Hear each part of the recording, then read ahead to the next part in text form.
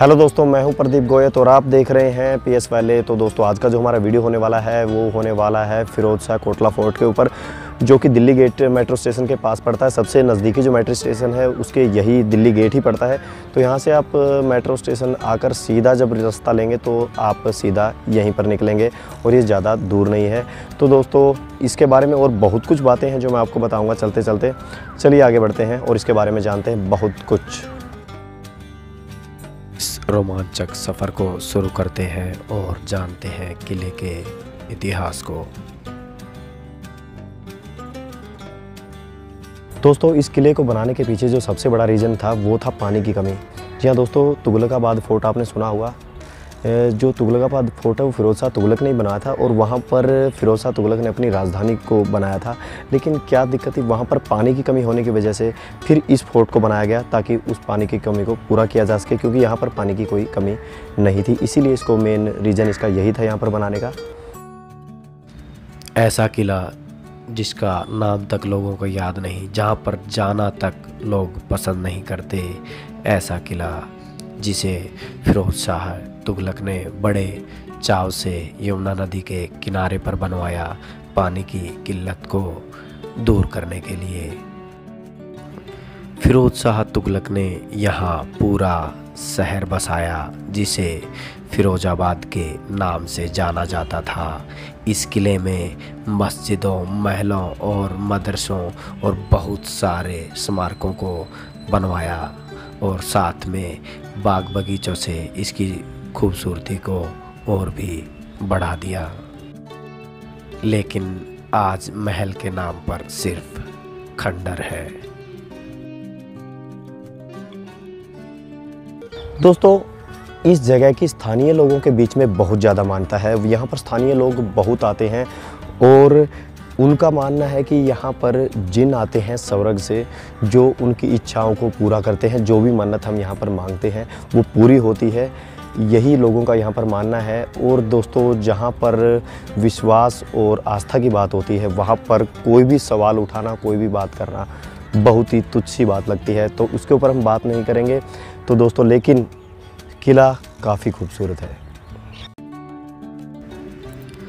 फिरोज शाह कोटला किले को लोगों की मनोकामनाओं को पूरा करने वाले जिनों के किले के रूप में भी जाना जाता है।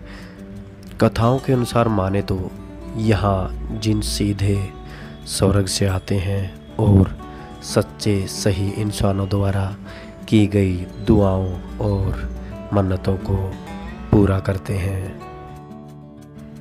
कथा चौंकाने वाली है, लेकिन ऊपर वाले के प्रति की गई आस्था और विश्वास को नज़रअंदाज नहीं किया जा सकता। क्योंकि सभी लोग बोलते भी हैं और मानते भी हैं कि जहाँ दवा काम करना बंद कर देती है, वहाँ दुआ का असर ज़्यादा होता है। और दोस्तों, आप जो मेरे पीछे जगह देख पा रहे हैं, इसे फिरोज शाह तुगलक ने स्पेशली बनाया था इस स्तंभ को स्थापित करने के लिए। इसीलिए इस इमारत को यहाँ पर बनाया गया है। फिरोज शाह तुगलक ने मौर्य काल के इस स्तंभ को स्थापित करने के लिए एक स्मारक रूपी इमारत बनवाई।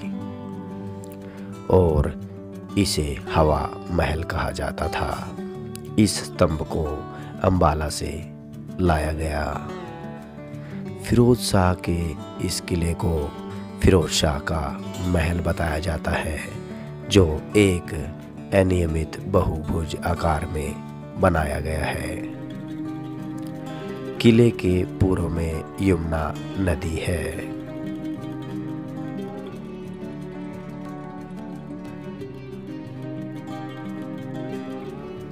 अब यह किला ज़्यादातर बर्बाद हो चुका है, नष्ट हो चुका है और प्रवेश और निकास द्वार तो बिल्कुल ही टूट चुके हैं, लेकिन किले में अशोक स्तंभ, जामी मस्जिद और बावली जैसी कई चीज़ें अभी भी सही स्थिति में है जो लोगों के लिए एक आकर्षण का केंद्र बनी हुई है। और मस्जिद में भी काफ़ी ज़्यादातर जो प्रार्थना कक्ष है वो टूट चुके हैं। लेकिन इस जामी मस्जिद का जो प्रांगण है वो अभी भी सही स्थिति में है। किला काफ़ी सुंदर और भव्य था, लेकिन आज हमें जो दिखाई पड़ता है, वो सिर्फ़ इसका एक हिस्सा मात्र है। इससे ज़्यादा कुछ नहीं। कभी जहाँ लोगों की चहल पहल और हलचल हुआ करती थी, आज वहाँ पर एक खामोशी का सिर्फ़ बसेरा है, क्योंकि वक्त किसी के साथ नहीं चलता। किसी के साथ नहीं रुकता। दौर बदलता जाएगा और इतिहास सिर्फ़ एक कहानियाँ बनकर रह जाएँगी।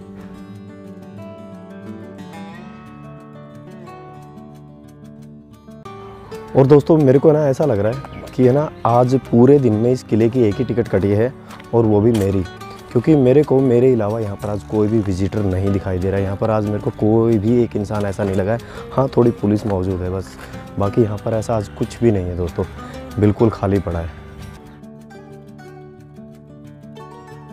लेकिन ये किला जैसा भी था, जो भी था, वो तो इतिहास में दर्ज है।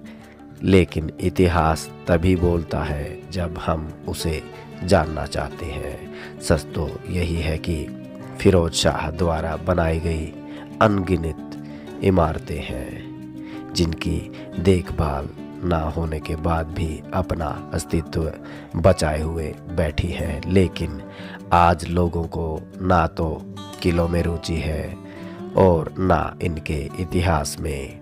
उनके लिए बस एक पत्थर की इमारत है जो बस खड़ी है।